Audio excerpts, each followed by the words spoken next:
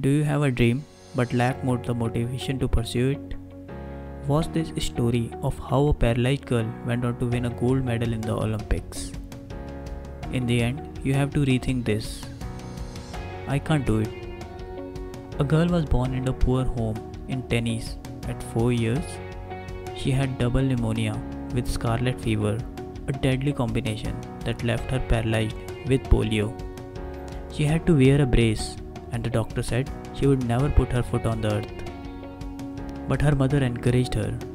She told her that with God given ability, persistence, and faith, she could do anything she wanted.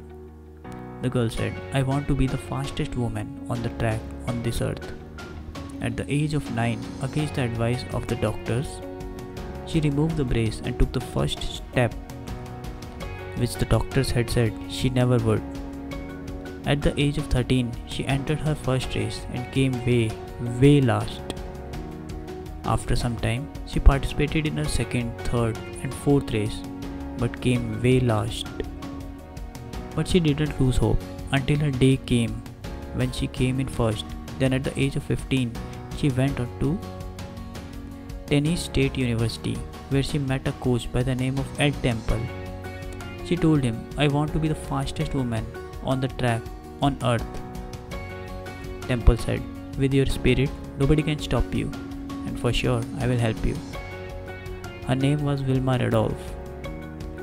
The day came when she was at the Olympics. At the Olympics, you are matched with the best of the best. Wilma was matched against a woman named Jutta Heine. She had never been beaten. The first event was the 100 meter race. Wilma beat Jutta and won her first gold medal. The second event was the 200 meter race, and Wilma beat Jutta again and won her second gold medal. The third event was the 400 meter relay, and she was racing against Jutta one more time. In the relay, the fastest person always runs the last lap, and they both anchored their team. The first three people ran and changed the baton easily. When it came to Wilma's turn, she dropped the baton but Wilma saw Jutta showed up at the other end. She picked the baton, ran like a machine, beating Jutta third time. Wilma won her third gold medal. It became history.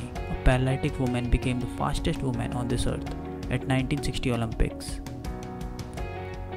You see in our life, the past can hurt, but you can either run from it or learn from it. So instead of crying over your failures, make them your strengths and give whatever it takes to pursue your dreams. Thanks for watching. Stay humble, stay blessed.